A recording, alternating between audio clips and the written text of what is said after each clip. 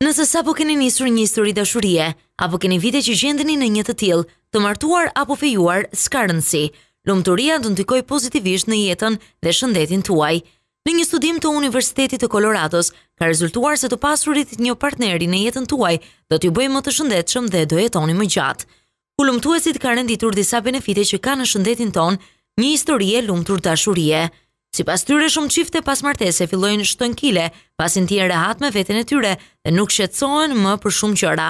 Megjithatë, mos u shqetësoni, pasi nëse do ndërmerrni një vendim që të dobësoheni, keni 70% mundësi më shumë se beqarët të arrini masën që doni.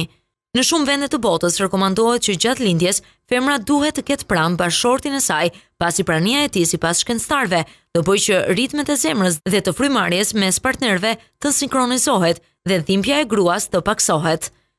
Nëse keni një marrëdhënie disavjeçare dhe të lumtur, Përgatituni që do jetoni gjatë, edhe do keni më pak risk për t'u prekur nga sëmundjet kardiovaskulare, depresioni dhe diabeti. Sipas hulumtuesve David dhe John, një lidhje e shëndetshme i bën gratë të kenë një mendje të shëndoshë dhe meshkujt një shëndet të mirë fizik. Çiftet që kanë bashkëpunim dhe mirëkuptim midis tyre, kanë mundësinë të marrin vendime më të mira sesa çiftet që kanë konflikte, pasi siç i thonë, dy mendje janë më mirë se një.